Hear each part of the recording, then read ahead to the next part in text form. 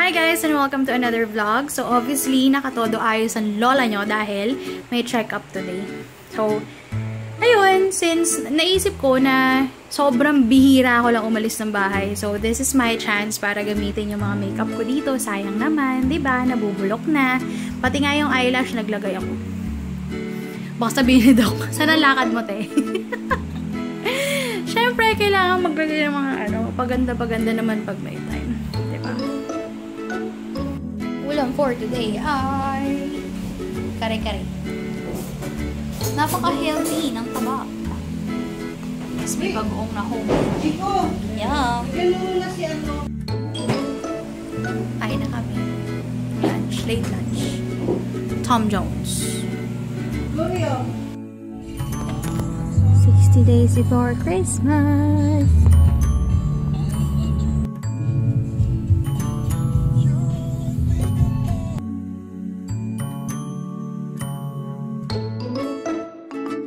Hi guys! Nandito kami ngayon sa ano? Sa Borough. Ay, Borough. Kasi mukhang Borough din eh. I'm sorry. Sa ano, Health Cube dito sa Green Hills. If ever may mga merong gustong magpa check up sa inyo, clinic na malapit lang dito din sa San Juan area. Um, dito sa Green Hills. Sa ano siya, promenade, tapos ground, oh sorry, lower ground.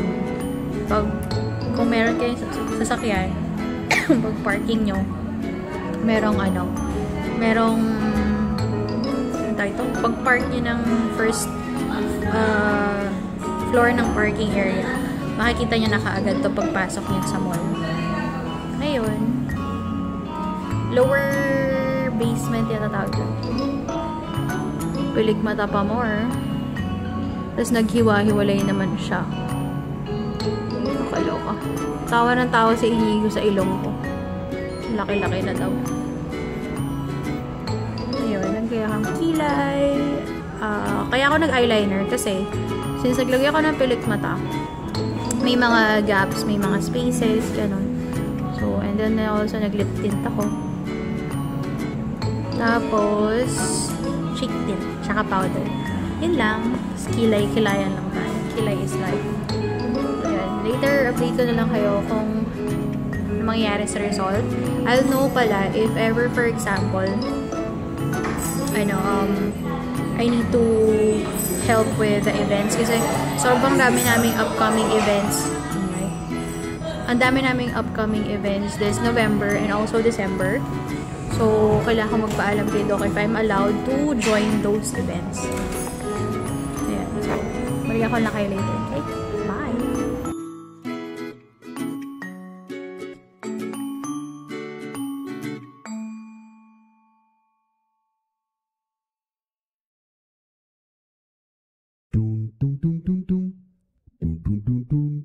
Okay,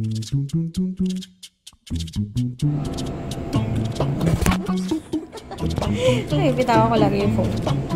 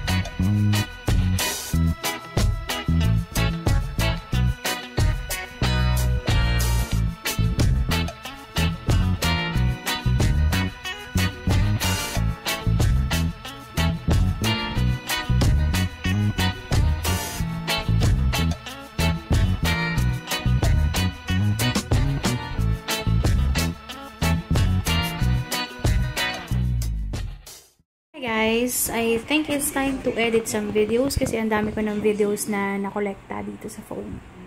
OMG. It's like 5 days ago na naman. Yung last, ano ko, last upload. So, ang nangyari sa check-up kanina, I wasn't able to show it to you kasi nag-ano lang naman, may sinilip lang si Doc dyan sa baba. Tapos, um, nag-fetal Doppler. So, nung nag-fetal Doppler, very good kasi um, na narinig namin yung heartbeat ni baby. So, mga nasa 151 BPM ah, BPM. Ayun. So, maganda ang position ni baby. Okay lang siya dyan. Nasa kaliwa na side ko siya. Na-detect. Ayun. cute, cute. Anyway, thank you guys for watching this video. I know this is already long enough. Thank you, and I hope to see you in my next vlog. KKK, bye!